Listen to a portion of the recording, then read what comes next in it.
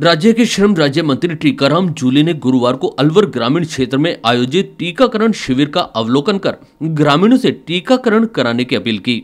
श्रम राज्य मंत्री ने मालाखेड़ा पंचायत समिति में आयोजित शिविर में पहुंचकर वहाँ की व्यवस्थाओं का जायजा लिया।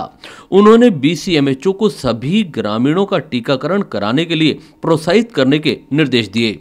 उन्होंने क्षेत्र में कोरोना संक्रमण की रोकथाम के लिए घर घर सर्वे कराने तथा कोरोना लक्षण वाले व्यक्तियों को मेडिकल मेडिकल किट प्रदान करने के निर्देश दिए। श्रम मंत्री जूली ने कहा कि मालाखेड़ा मुख्यालय स्थित कस्तूरबा गांधी विद्यालय को कोविड सेंटर बनाया जाएगा। इस संबंध में उन्होंने मौके पर ही इसकी स्वीकृति जारी कर दी।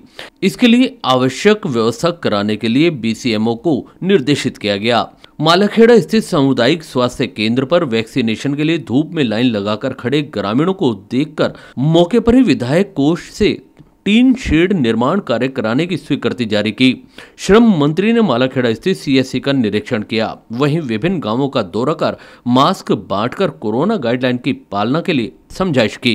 हम हमेशा खुले ही रहे हैं। हमारे कानून ने हमें खूब स्वतंत्र स्वतंत्रता दी है खुले रहने के लिए।